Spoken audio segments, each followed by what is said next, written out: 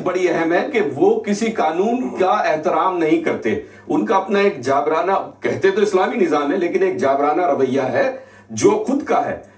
निज़ाम इस्लाम की बात करते हैं, अपने रवैये को मिक्स कर रहे हैं इस्लाम के निज़ाम से। मुझे, मेरे ये खदशा है कि तालिबान किसी भी कानून के ताबे नहीं है। वो जिसको जब चाहे बुरा कहकर गोली मार देते हैं। तो क्या ये रवैया, वो ये चाहेंगे कि हमसाया मुल्कों में भी ये रहे, वहाँ पर भी ये निज़ाम आए? वरना कोई भी निज़ाम वहाँ है, कुफर का निज़ाम है।